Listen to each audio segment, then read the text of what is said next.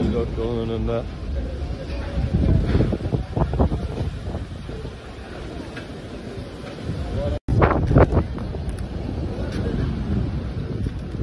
Cebeci 4 orada ağaç taksinin üzerine düştü.